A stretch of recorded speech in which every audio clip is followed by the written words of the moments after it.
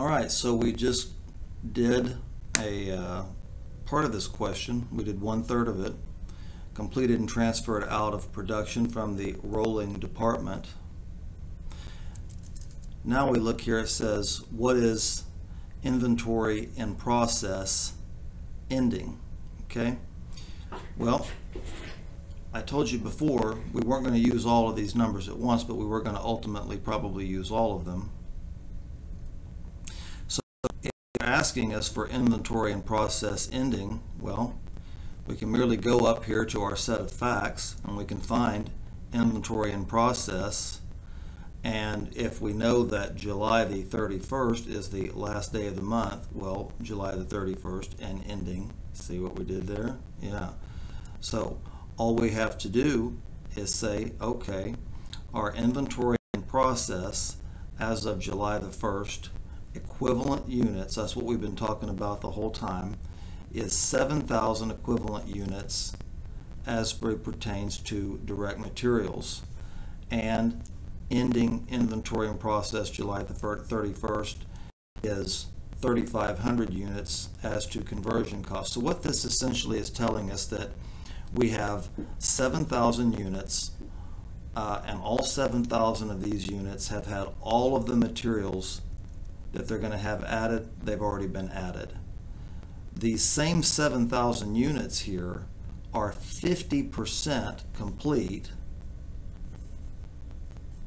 as to conversion cost. so we have 3,500 equivalent units as to conversion. So what is our ending in-process inventory in dollars? Well, I'm going to tell you. All we have to do is simply take our materials of 7,000 equivalent units times our given $2.25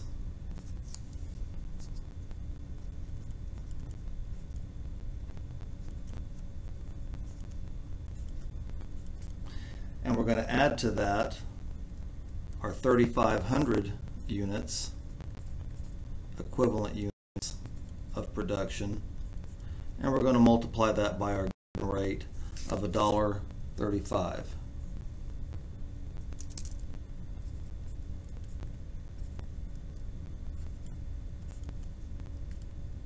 I'll give you a moment to make that calculation. if you haven't done so already. And I believe that when we execute those two uh, equations and add them together, we'll come up with $20,475. Okay, and that is our that is the value of our ending inventory in process, 20,475. All right. Let's go ahead and do this last part. It says total costs assigned by the rolling department. Total cost assigned. Well, this is pretty simple. All we do is we take both of these figures, take our $253,000, 253,780 of the cost of production that has been completed and transferred out of production 253,780 and we're going to add to that our ending inventory value equivalent units of 20,475 if we do that we should come up with $274,255 I want to say one thing about this $20,475. This ending inventory for July, this, this is going to be our beginning uh, inventory value for August. Okay, that's not what the question asks us for though. So total costs assigned by the rolling department consist of the first two parts of the equation, or the question rather, completed and transferred out of production, and ending inventory value.